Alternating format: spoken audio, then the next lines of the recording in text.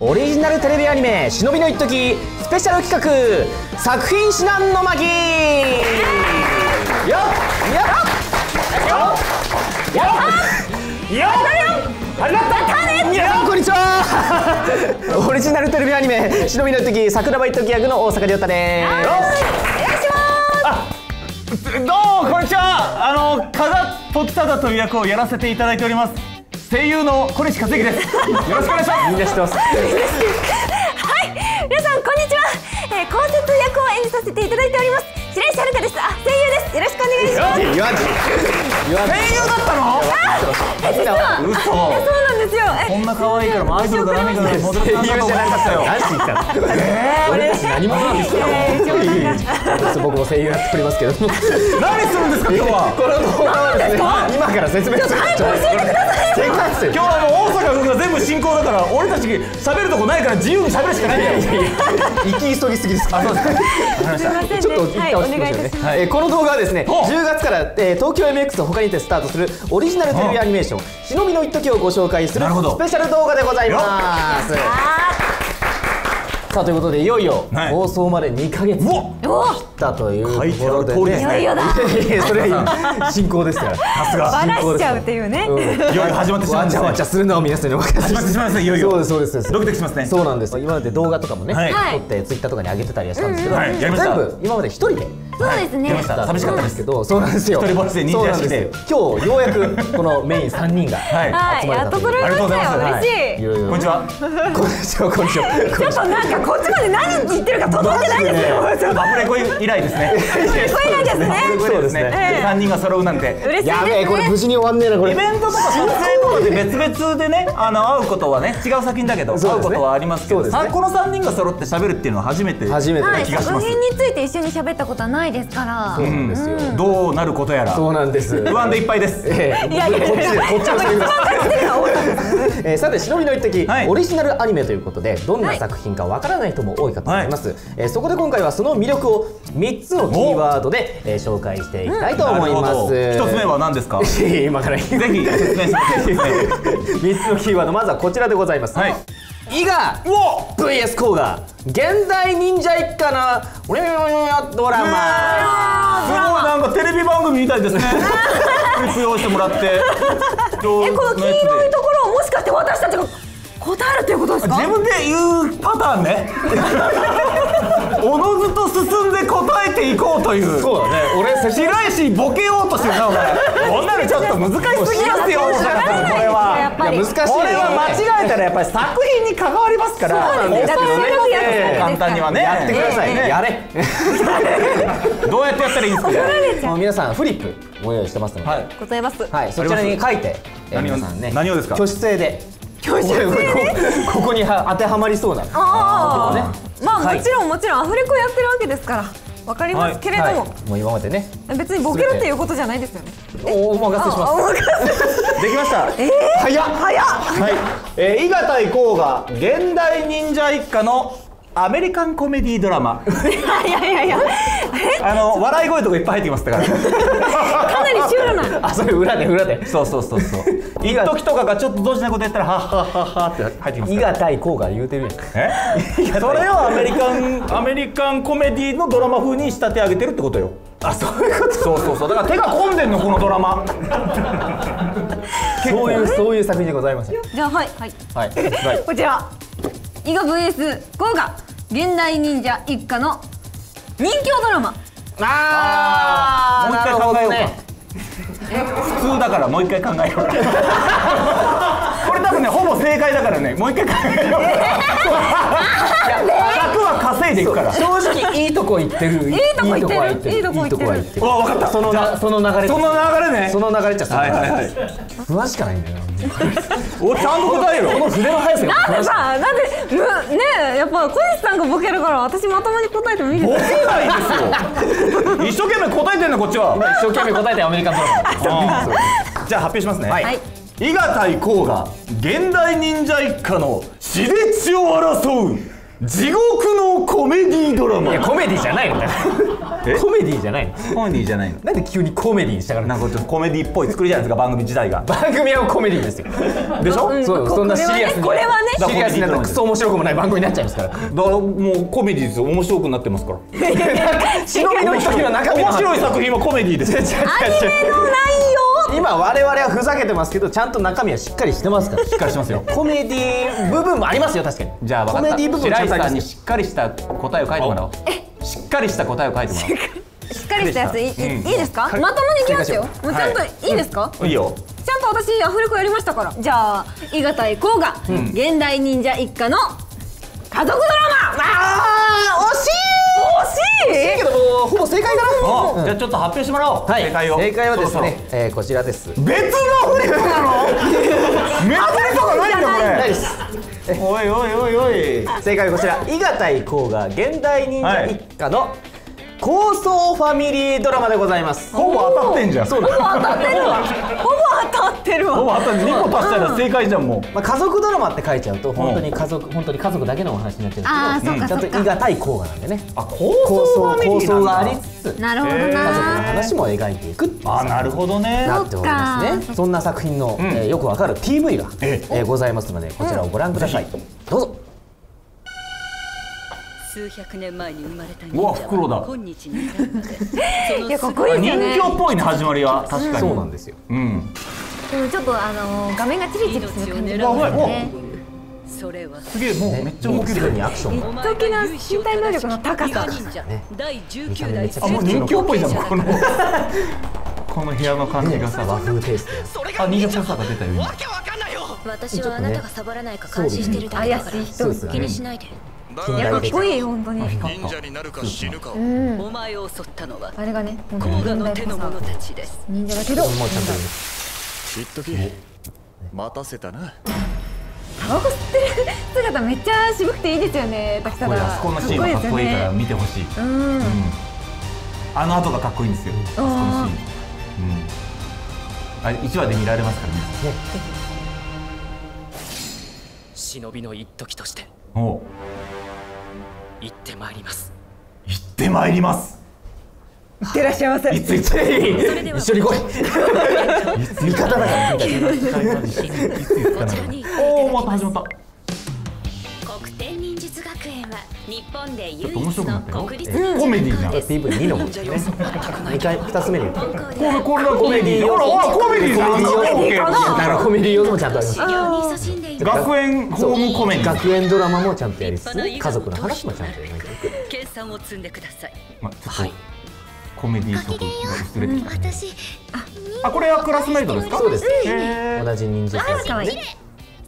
ほんと普通の女の子ですね。なんか忍術見た目はそうなんですこういう感じな制服とかもちゃんと着てるし割と後節が特殊なんですよね。うん。髪の色からもちょっと特殊だからね。告白されてましたよ今。そうなんですめちゃくちゃキラキラしてるじゃないですか。怒られてますよ告白して。そういうことじゃないの。いやいやいや。場面ちょっとして。を使って答案をパクってくる試験なんだよ。忍びという字は刃にこれ走ってると書く。え何あれ今の？伊賀に伝わる。怪しい。みんな驚いてたよ今。お前誰だ？いっこれとキャラクターがたくさんいるぱいいっぱいいすぎてわからない。やりたいようにやるよ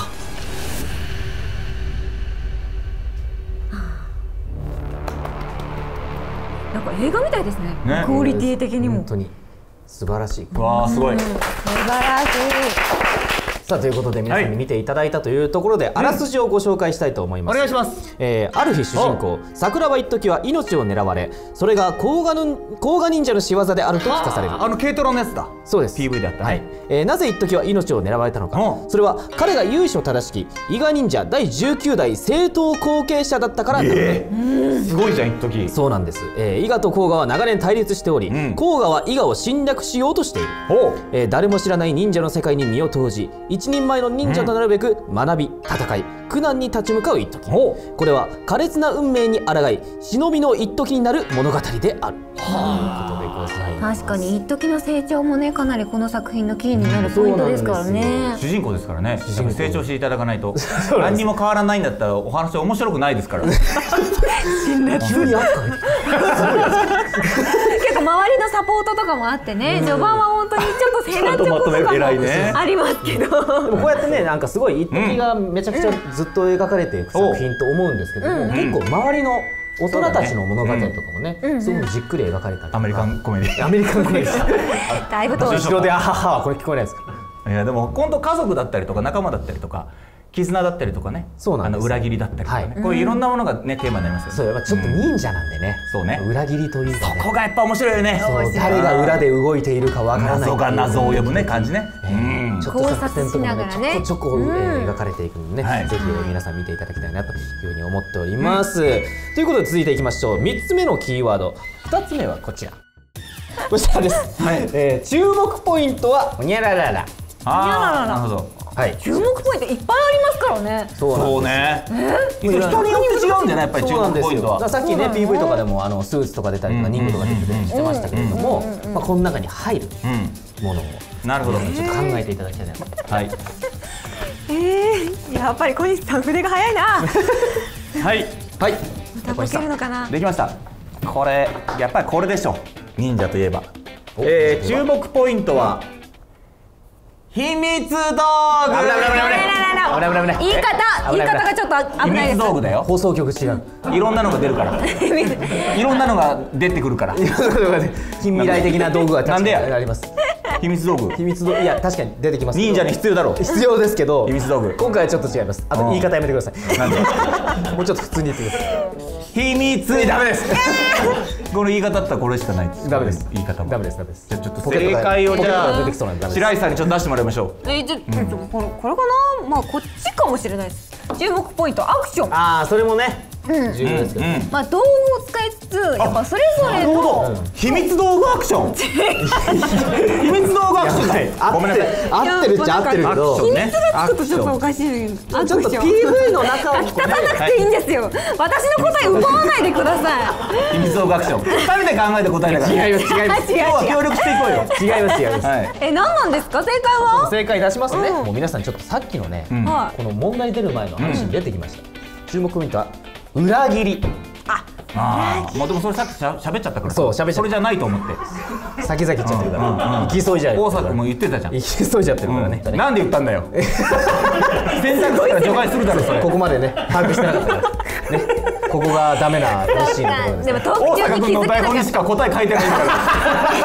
た トークも油断できないってこと油断できない。ちゃんと聞いてこなきゃいけないはい。いい加減なことばっかり。言ってそうそうそう ということでここでねキービジュアルでキャラクターを確認してみましょう、こちらでございます。おおはい。こちらキービジュアルの第3弾。うん。かなりかっこいい感じ。もうだってこれが出たってことはさその前に裏切りって話してるでしょ、はい。誰が裏切るんですよこれ。そうなんっていう話じゃないこれ。もう全員怪しいもんなんか。なんかね。描かれ方が怪しいよね。なんだったらこう見たらコーも怪しく見えてるんですよね、えー俺も怪しいよ多分。うん。そうそう何やってるか分かんないんだよ。そうなんですよね。ここに来て一時がもしかしたら。実は。うん実は。あるかもしれないですよ。なんか記憶が目覚めるみたいな、封印されし記憶が目覚めるみたいな、そういうところにもね注目していただけると嬉しいです、えーということでラストいきましょう、はい。3つ目のキーワード。3つ目はこちら、ほにゃららが超豪華、あらあら大か阪さん何だと思いますか？いや答え知ってるから。まあやっぱり。知った上で何を答えるのかっていうのはやっぱり皆さん聞きたいところで俺たちも選択肢から除外すればいいっていうこれだからなんかうまいこと誘導してくださいってそうね。まあ、あのよく描かれるキャストが超豪華とかはね、ちょっとそういう普通な感じではないですね。え普通の感じじゃない普通の感じじゃない。難しいな。まあでも答えは普通かな。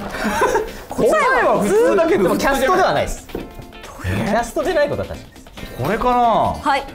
じゃあできましたか？できました。はい。どっちからいきますか？どっちからでも？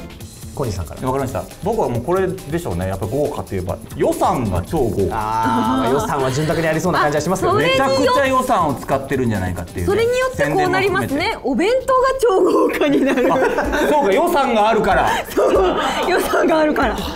弁当なんか出たことねえだろ。アフレコで。予だって普算通じゃないって言ったじゃないです予か算。そういうなんか物理的なもんじゃないです。物じゃないです。ものじゃない。物じゃないです。えちょっと先ほどキャストが超豪華っていうお話があったんですけど、こっち声優が一緒や キャスト？一緒。超豪華なんじゃないかな。一緒。ボイスアクターで一緒。一緒です。キャストですキャストなんですか声キャ優さんは？ストです。全員キャストです。はいはいはい。あれ？お。色使いが超豪華。まあ色使いもね間違いない。めちゃくちゃ絵綺麗じゃないですか。声優の色使いが超豪華。声優の色使いって何？結局そこになるん声優ですか？が塗ってることになっちゃいますねそういう。あ分かった。え？なんだなんだ。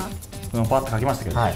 えー正解こちらです。大阪くんの使い方が超豪華。どういうこと？まあそれはそうだけど。どういうこと？俺の使い方が超豪華って何、もうこれ主役なのに MC にしたりとかさ、主役だからこそでしょ。いや主役はどんと構えてね他の人がやっぱ MC やるのが普通ですよでも。そうですか。こういう番組ね本当に、えうん。だからもう豪華ですよ、ええ。え僕あとあのおおですからね。うん？これ大大阪か。そう今そこ重要かな？えじゃあちょっと私いいですか？答えわざわざ直してくれ。て優しいなこの先輩。ちゃんと漢字書きましたから。優しすぎる。俺だって漢字書けんだよ。よく覚えてますね俺の。覚えてます。すごいな。さあじゃあ正解お願いしますよ。白石さん。えいいですか、はい。正解いきますよ。えこれですよねきっと。さっき出ました。スタッフが超豪華、はい正解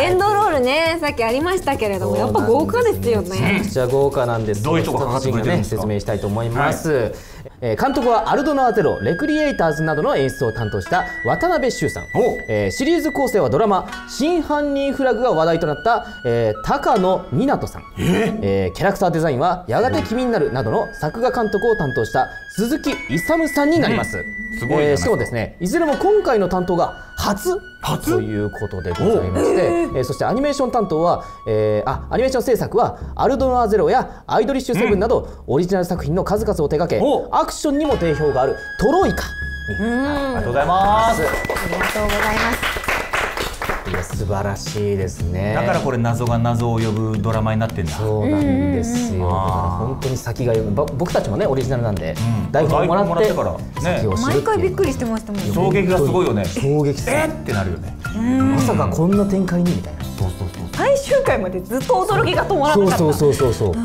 ぜひ皆さん注目していただければと思います、ということで以上白身の一滴3つのキーワード紹介でございました。ありがとうございました。はいということで今回はここまででございます、えー次回の配信ではキャラクターについて掘り下げていきたいと思います。次回もぜひ見てください、えーそれではバイバイ。バイバイ